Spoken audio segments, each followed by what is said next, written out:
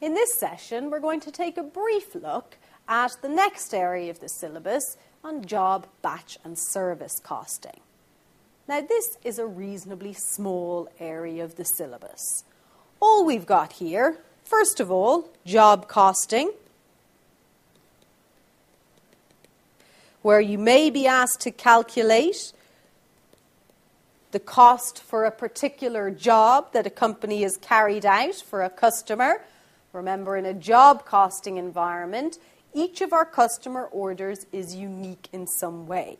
So we would gather the costs associated with that particular order. The costs you need to think about are our direct materials, direct labour, our production overhead cost, and you may be asked to add on some non production cost allocation. In a service costing environment,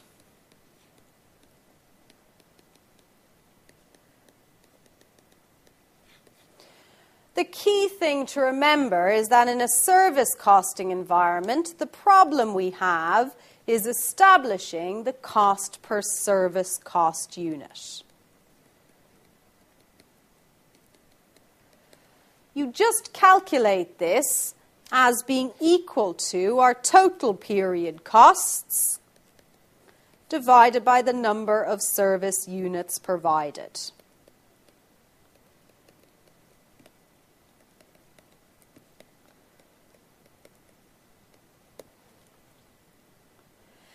Now, just the final area of this part of the syllabus I want to remind you of. Just an add on alternative costing systems. It's a newer area of the syllabus, potentially one that will come up as a nice little theory question, but only if you know the theory. So remember, you just need to understand the principles of a couple of other costing systems, including activity based costing or ABC, target costing, and life cycle costing. So, these are the key areas then for this particular section. Just having a quick look at a question. Were asked which of the following best describes target costing. Now, a reminder then target costing. How do we calculate a target cost per unit? Well, our approach here is that we start with a target price. So, the price we believe customers will be prepared to pay for our product. Now, presumably, we want to earn a profit margin on each unit we sell.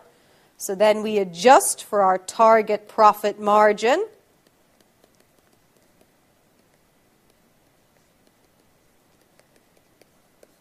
We subtract that from our target price to calculate our target cost per unit. So we then need to look at our activities, at our factory environment to ensure that our cost per unit is at this target level. So, bearing that in mind, which of the following statements best describes target costing?